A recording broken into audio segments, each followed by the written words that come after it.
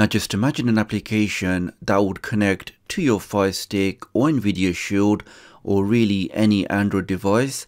And through this application you can now push any third-party applications directly to your device.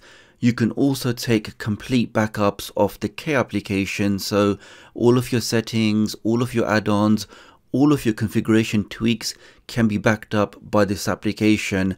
You can even close off all your running applications with just one click. So in this video today, let me show you this amazing application, which is absolutely free. It works across all of your devices and I'm really looking forward to sharing it with you. So do take a moment to hit that like button.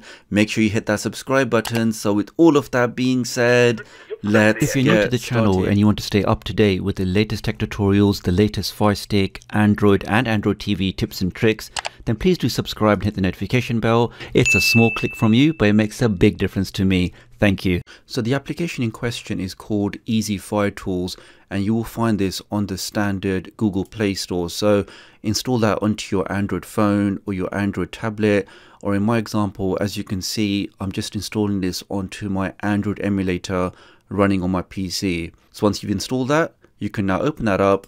Now when you start this application for the first time, it will do a quick scan of your current system and it will show you all of the applications you have installed. Now we can see on my device, these are all the apps on my Android emulator.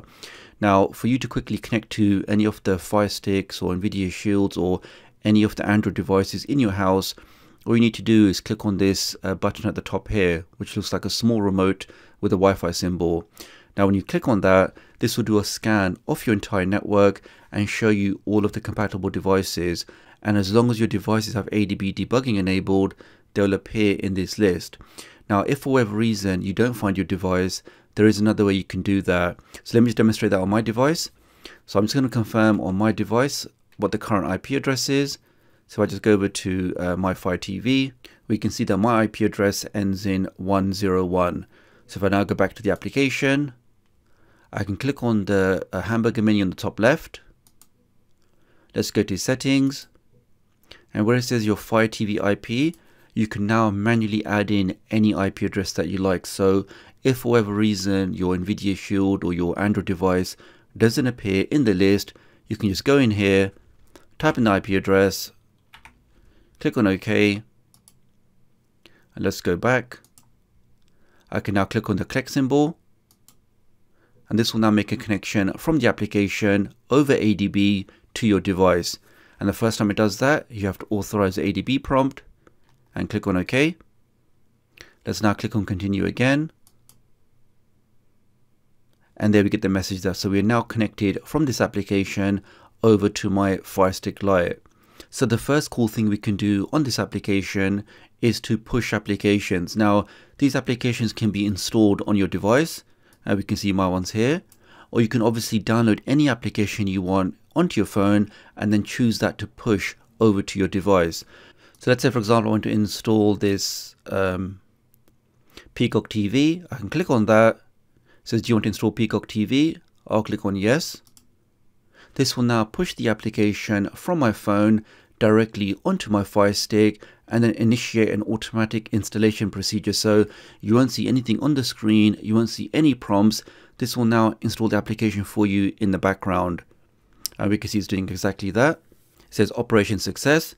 So if I now press the home key, go to my applications, oh, we can see the prompt there. So that just confirms that Peacock TV has now been successfully installed by pushing the application from my phone directly to my Fire Stick. So that covers any application that you have installed on your device already, but you can also download any application you like and push that as well. So for example, if I go over to my website, let's say for example, I want to install this application over here, I can click on that, scroll to the bottom and then click on the green download button. So this will now download the application over to my device. Uh, click on download. That's now all done. So if we now open up Easy Fire Tools again, and if I go to the downloads folder, there's the application there guys so I can now click on that. Again I get the prompt saying do you want to install this? I can click on yes. And once again in the background it will now push the application from my phone directly to my Fire Stick and again initiate that automatic background installation procedure. So no prompts nothing asking you do you want to install this?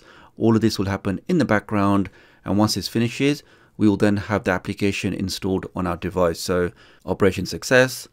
If I jump over to my Fire Stick, and there's the application there guys. So this really is one of the easiest ways to install applications to your device and it doesn't matter if you have a Fire Stick or Nvidia Shield or wherever your device is, as long as you have ADB, you can follow this process and just push any applications you want directly onto your device. So do give a thumbs up for that. Now the next cool thing you can do, and it may not be for everybody, but if you are a regular user of the K application, I can go to the hamburger menu, go to the media center. So here for example in the drop down box, I can actually say I want to choose this particular installation and push that directly onto my device. So, and we now see a list of all of the different versions which are being pulled directly from their repository. So, so we can go for an older version, or we can go for the very latest version. And if I click on that now, I can now click on install and this will now push the latest version of the application directly to my Fire Stick. Now, for some of you who already use this application and maybe you're looking for a process or a method to back up all of your settings, your custom add-ons, all of your configuration, that feature to actually back all of those settings up is actually built into the application. So if I click on the third option down here, you then click on backup give that a name. So this is my TDUK uh, Jan 2021 backup.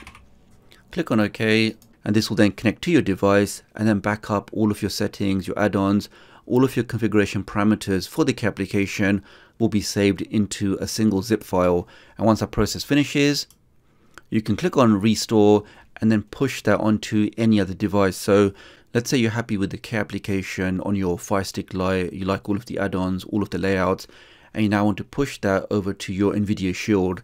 Well, that's exactly how you do that, guys. So on your Fire Stick Lite, you'd make that connection, you'd click on backup, you'd back up that entire configuration onto your cell phone or onto your device, then make another connection to your NVIDIA Shield, and this time click on the restore button to push that configuration onto your NVIDIA Shield. So at the end of the process, both devices will have the exact same configuration for the K application.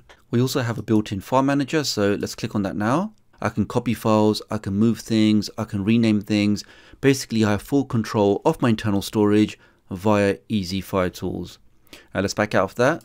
And if any of you guys are still with me, then if you leave the comment below Monday Blues, then I know you've made it this far in the video, which I really appreciate. I'll then heart that comment. So the last cool thing we can do on Easy Fire Tools is to manage your background running applications. Now, there seems to be a slight bug where on Fire OS 7, so your Fire Stick Lites and your Fire TV Cube second generation, it doesn't seem to show any background processes. But here we are on my 4K Fire Stick. If I click on the hamburger menu and click on Task Manager, we can see it's showing all of those things running in the background. So for example, we can see I've got IPVanish running, I've got uh, Airy TV, and Pluto TV running. So these are the things running in the background on my device. And let's say I want to close them with one click. And that's this button here, guys. If I click on that now, close all running applications. Let's click on OK. And just like that, all of those background tasks have now been closed on my Fire Stick, freeing up that valuable system memory. So that's all for this video guys, many thanks for watching. If you did find this video useful then do give it a thumbs up. If you want to see more stuff like this then please do subscribe and hit the notification bell. As always I always appreciate your likes, your shares, your comments so do let me know what you think, leave me a comment below and I'll hopefully catch up with you guys real soon. Thanks.